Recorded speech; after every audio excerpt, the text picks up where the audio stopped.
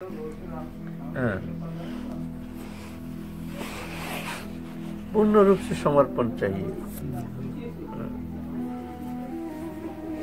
और जो साधना, जितना प्रकार साधन चेष्टा है, साधक तो साधन करती है।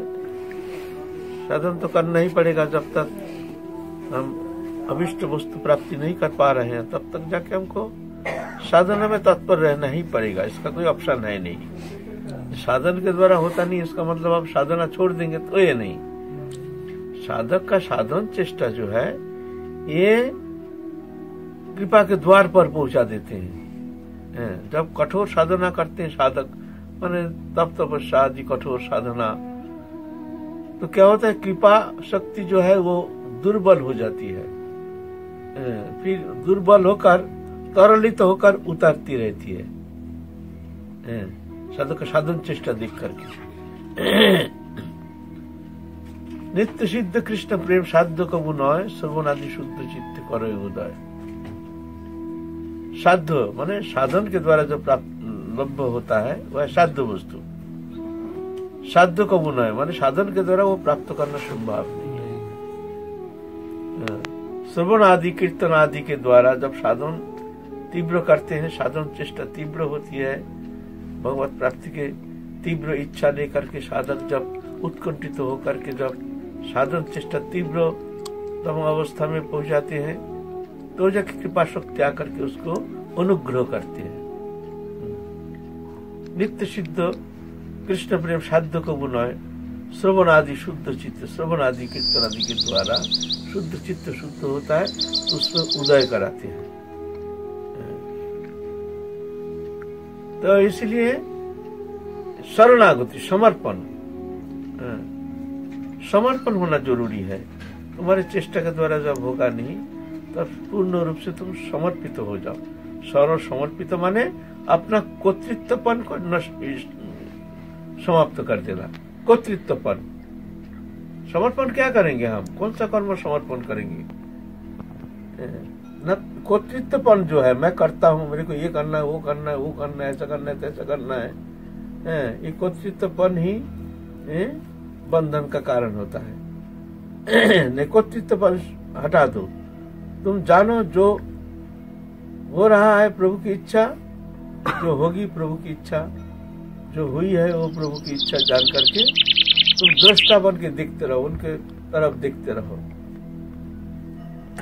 भगवान गीता में कहते हैं, जेतु सर्वाणी कर्माणी मई सन्न समत पड़ा अनन्न नैव जोग नमांग ध्यान उपासते तेषांग अहंग समुद्र तमित संसार सागरात, भवामी नचिरत पार्थ मई आवश्यक चेतसम।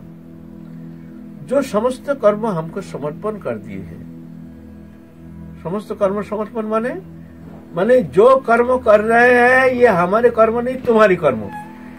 हम गृहस्थ कर्म भी जो भी करते हैं, स्त्री, पुत्र, कुटुंब, पालन, पोषण, जो भी हम करते हैं और नित्य, नैमित्तिक जो भी कर्म करते हैं यह तो हम अपने को पढ़ लेकर करते हैं। हमारा बच्चा है, उसको पढ़ाना है, बेटी है, उसको एजुकेशन देना है, शादी देनी है, ये करना है, वो करना है? संसार गुजारने के लिए, कुटुंब भरण के लिए हमको पैसा चाहिए, चलो धन कमाना है तो ये करना है, वो करना है हमको। तो इसका कर्ता हम बन करके हम कर्म संपादन करते हैं। यह कर्ता मत बनो, तुम नौकर बन जाओ। जाना जी हम जा रहे हैं प्रभु की नौकरी करने के लिए। हम जो परिवार का सेवा कर रहे हैं, ये हमारे लिए नहीं। ये प्रभु हमको संसार में भेजे हैं और जितना मेंबर्स है, ये प्रभु कृपा करके हमारे पास भेजे हैं। सेवा करने का हमारा अधिकार है। बाकी कर्तृत्वपन इस विषय चिंता करने का अधिकार हमारा है नहीं। कर्मान्य अधिकार को चलो कर्म में तुम्हारा अधिकार है। कर्म फल में तुम्हारा अधिकार नहीं है। बोले, क्यों? न तुम समर्पित हो। तुम हमको कर्ता मान करके तुम हमारे दास बन के तुम संसार में कर्तव्य कर्म निर्वाह के लिए तुमको हमने भेजा है। तुम दास बन के कर्म करो। जैसे कोई करोड़पति के घर में नौकर काम करता है तो मालिक का करोड़ों रुपया आमदनी होने से नौकर का आनंद नहीं होता है। और मालिक का करोड़ रुपया नुकसान होने से भी नौकर का कष्ट नहीं होता है। लेकिन काम करता है, सुचारू रूप से वो कर्म संपादन करता है। जैसे कोई रकम भूल त्रुटि ना हो मालिक कोई नाराज़ ना हो, कोई गलती ना हो, गलती होने से हमारा नौकरी नहीं रहेगी तो इसीलिए हर समय तत्पर रहती है। कोई बाहर से कोई अतिथि आते हैं हैं? तो क्या करते कितना खातिर के साथ बैठाते आदर करके, बड़े आदर के साथ, जैसे हमारे कोई बड़े प्रिय जन आए हैं, खुशी के साथ क्यों? मालिक को प्रसन्न करने के लिए। तो इस तरह से तुम संसार में रहो, भगवान को कर्ता मान करके तुम सिर्फ़ कर्तव्य कर्म निभाना ही तुम्हारा फ़र्ज़ है। बाकी उस विषय चिंता करने का तुम्हारा अधिकार नहीं है। मन को रखो प्रभु के चरण में और कर्म कर इंद्रिय के द्वारा। जो प्रभु तुमको कर्म करने के लिए जो भी प्रेरणा देते हैं, वो कर्म तुम कर रहे हो। प्रभु की इच्छा जान करके दास बन के ना कि कर्ता बन के दास बन के वही कर्म है। कर्म अलग नहीं है। वही कर्म चेष्टा। वही स्त्री पुत्र कुटुंब पालन पोषण वही। लेकिन यहाँ मैं करता नहीं। कर्ता प्रभु है। तो हो जाएगा कर्म समर्पण। नहीं तो लेकर कर्म समर्पण होना संभव नहीं है। वो शाब्दिक हो जाएगा।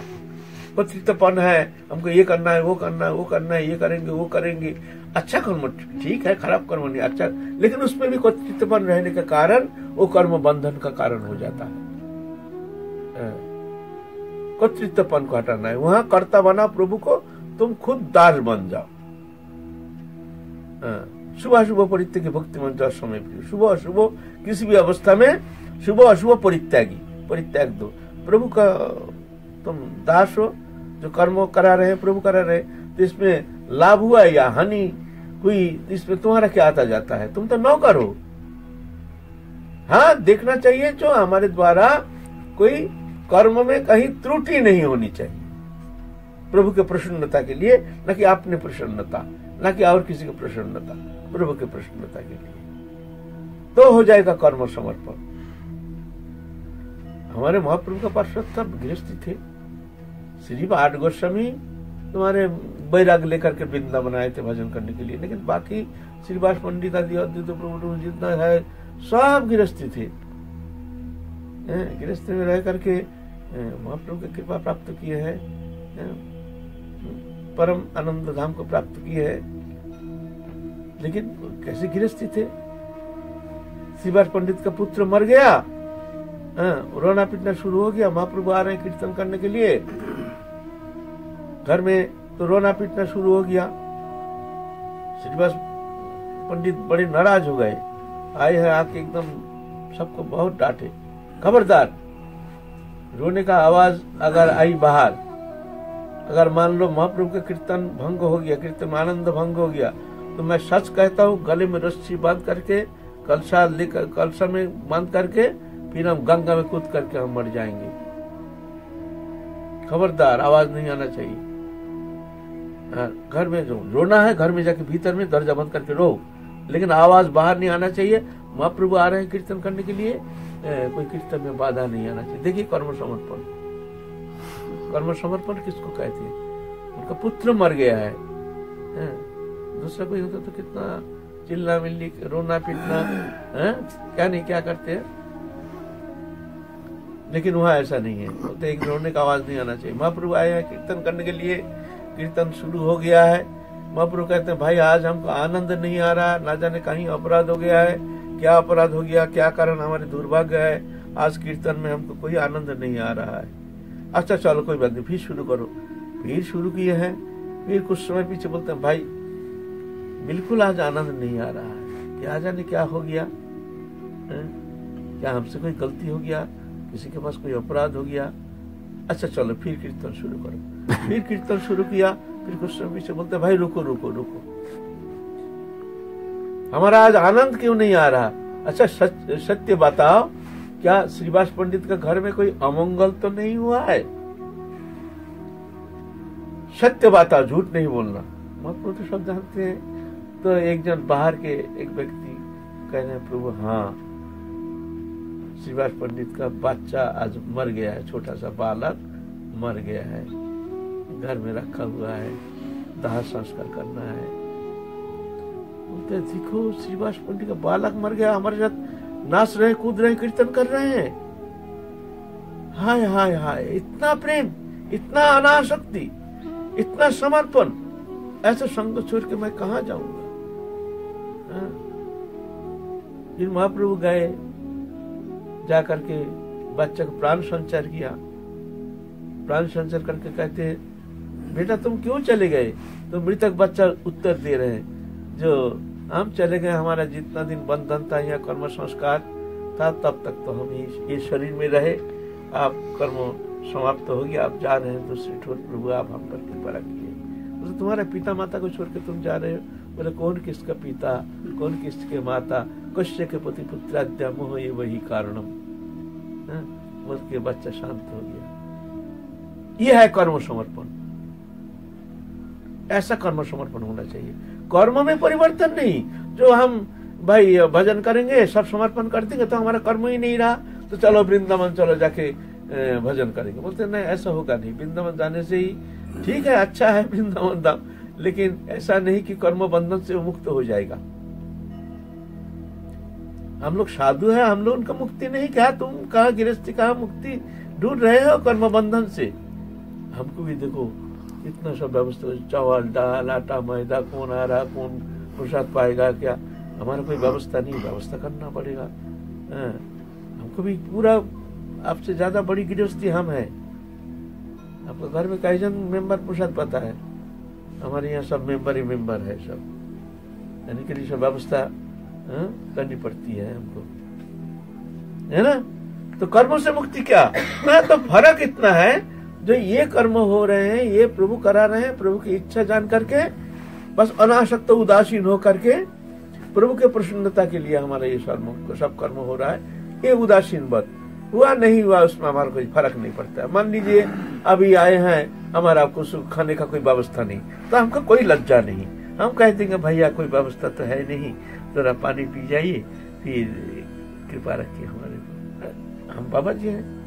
हमको लज्जा क्या? हम तो कमाई नहीं करेंगे। हाँ आपको अनुरोध क्यों करते हैं ना? व्यवस्था है, चावल है, दाल है सब आटा है, मैदा है। चलो भगवत भक्त का सेवा हो जाए। ऐसे नहीं, कर्म से मुक्ति नहीं होता है। बस, प्रभु का कर्म जान करके कर्म, ये बंधन का कारण नहीं होता है।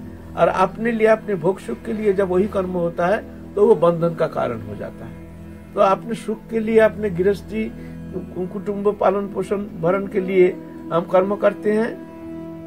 अपने को कर्ता मान करके तो बंधन का कारण होता है। इसीलिए गीता में कहते हैं, जीतु सर्वानी कर्मानी मई मत पर हर समय के लिए भगवत परायण, माने भगव जैसे बच्चा माँ को छोड़ के कुछ जानते नहीं है, ऐसे ही हम ठाकुर जी को छोड़ के कुछ जानते नहीं है। इसको कहते हैं परायण। भगवत परायण, भक्ति परायण। हम्म? मत पर। और क्या नहीं अनन्न नैव न मांग ध्यान तू पशु अनन्न ना अन्न चिंता, ना अन्न आशा, ना अन्न चेष्टा, ना अन्न संकल्प। क्या एकमात्र चिंता, एकमात्र इच्छा, एकमात्र संकल्प? हाँ? नहीं, प्रभु की सेवा प्राप्ति, प्रेम प्राप्ति तत्सहित प्रभु की सेवा प्राप्ति। अनन्न मांग ध्यान उपसती चिंतन के साथ हर समय उपासना करते हैं मन में। अनन्न पलक के लिए विच्युति नहीं। हर समय अखंड रूप से भगवत चिंतन। उठते, बैठते, खाते, सोते, भगवत चिंतन, भगवत नाम। हम कहते हैं, हमारा भजन करने का समय नहीं। समय नहीं ये झूठ कहते हैं हम। मिथ्यावादी हैं। तुम बैठे हो। तुम्हारा मुँह क्यों बंद है? मुँह में नाम करो। तुम इधर उधर का चिंता क्यों कर रहे हो? बेमतलब का चिंता कर रहे हो? घर में क्या होगा? ये हुआ, वो हुआ, ऐसा हुआ, तैसे हुआ। ऐसा चिंता करने से तुम्हारा क्या लाभ है? तुम प्रभु का चिंता करो। जो होना है होगा। तो मन को रखो प्रभु के चरण में। मुँह में प्रभु का नाम करो। और कर से कर्म करो। हो जाएगा भजन।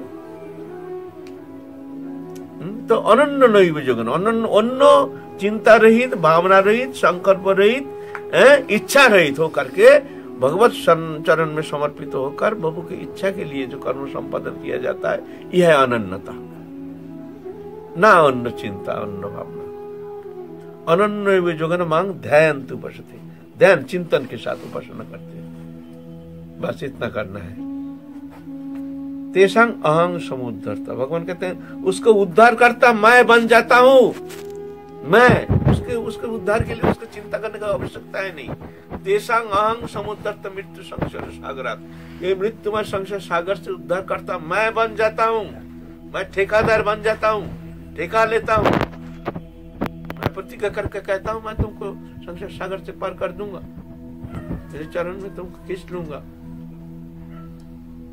तेषांग अहं समुद्र मृत्यु संसार सागरात भवमीन अचिरात पर्थ मई आवेशित चित्त सब अचिरात अचिरात माने बहुत जल्दी। समय का इंतज़ार नहीं बोलते, बहुत जल्दी। मुझमें आवेशित चित्त वृत्ति लेकर के जो अनन्य भाव से मेरा उपासना करते हैं और समस्त कर्म हमको समर्पण कर चुके हैं, ऐसे जो भक्त हैं, उसका समुद्रता संसार सागरत मैं बन जाता हूँ उद्धार करता मैं बन जाता हूँ। एवं बहुत जल्दी संसार सागर से पार करके मैं अपना धाम में अपने सेवा में उसको ला करके उसको स्थान कर देता हूँ। ये बात है तो इस तरह से एक समर्पण होना चाहिए।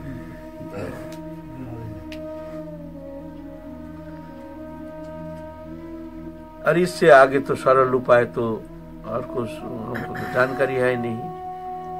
शास्त्र में तो ऐसे ही कहते हैं। साधु, संत, महंत सब ऐसे ही कहते हैं। शास्त्र, पुराण आदि ऐसे ही कहते हैं। कर से कर्म, कर विधि नाना, चित्त रखो जहाँ कृपा निधाना कर्म करने में बाधा नहीं है। कर से कर्म करते रहो। लेकिन मन को रखो प्रभु के चरण में। और मुख में अखंड हरि नाम। नाम चिंतन करते रहो। नाम मुख में नाम करते रहो। पलक के लिए छूटना नहीं चाहिए। मैया लोग रोशनी कर रहे हैं। मुँह बंद क्यों है? तुम्हारा समय बीते जा रहा है। कर्म भी करना है, धर्म भी करना है। अर्थ भी कमाना चाहिए, परमार्थ भी चाहिए, दोनों ही चाहिए। अर्थ के लिए काम, परमार्थ के लिए नाम। कम भी चलता रहे, नाम भी चलता रहे। अब रास्ते में चल रहे उठते, बैठते, खाते, सोते। हर स्थिति में मुख में अगर नाम, कम से नाम रटने का चेष्टा करो। ना मुँह बंद नहीं होना चाहिए, पलक के लिए।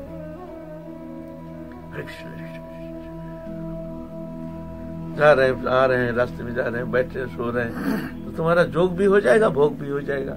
संसार विषय भोग ये तो भोगना ही पड़ेगा शरीर के द्वारा। और जोग भी हो जाएगा साथ साथ जोग के लिए अलग समय नहीं जुगपत इंद्रिय के द्वारा भोग हाँ, अंतकरण के द्वारा जोग। दोनों साथ चलना पड़ेगा। तब जाकर के तुम चालाकी से तुम निकाल जाओगे संसार सागर से।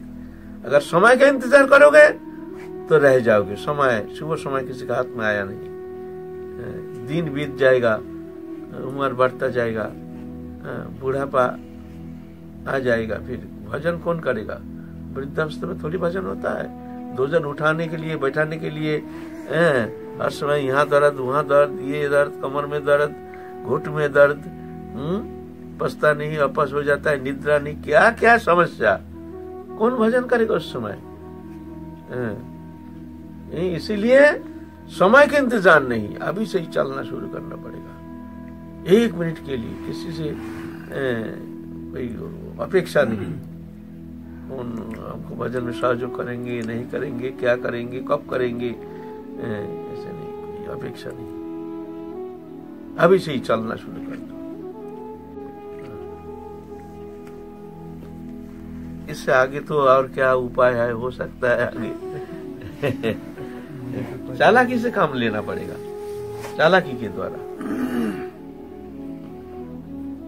समय समय का यूटिलाइज समय का मिसयूज नहीं होना चाहिए। एक पलक के लिए भी मिसयूज नहीं होना चाहिए। कब सुबह समय मिलेगा? सारा दिन इधर उधर काम में व्यस्त है। संसार का कर्म में व्यस्त है। हम्म, कहा संध्या के बाद कब समय मिलेगा? भजन करने का। थोड़ा समय मिल गया पंद्रह मिनट। बैठा है, वहाँ तो मन तो इधर उधर भाग रहा है, ये करना है, वो करना है, वो करना है, वो करना है। नींद भी आ गई। चलो भाई, माला रखो चलो फिर काल देखेंगे। अब बहुत नींद आ रही है अच्छा नहीं लग रहा है। बस आज का दिन है। कल भी ऐसा ही। सुबह उठ के भाग दो, ये करूँ, वो करूँ, ऐसा कैसा तैसा।